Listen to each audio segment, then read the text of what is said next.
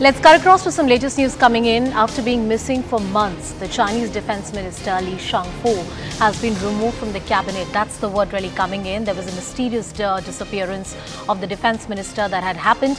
I want to cut across to Abhishek Jha. Abhishek, uh, interesting and significant developments. Put this into context, please.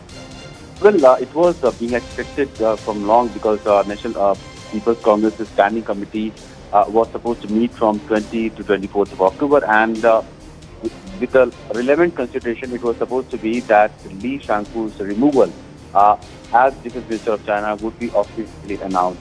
Uh, and the Beijing would have to announce a new Defense Minister now uh, before 29th, uh, between uh, this like next few days before 31st of October, uh, before the Xiangshan Forum.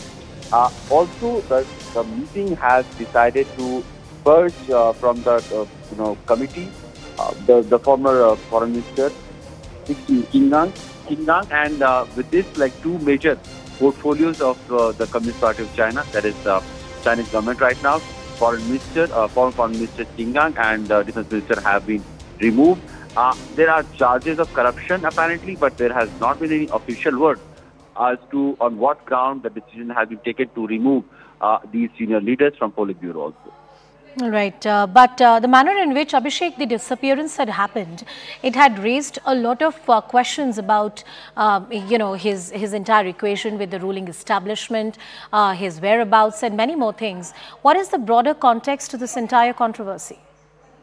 So, uh, while in, in, case of Qin Gang, it was said that he had apparently some relationship which did not go down well with the Chinese Communist Party and he had to be removed because of, uh, you know, because his post held a very confidentiality yes. and that needed to be protected. Also, uh, there are charges of corruption apparently against the defense minister and that there is one ground on which he is being removed.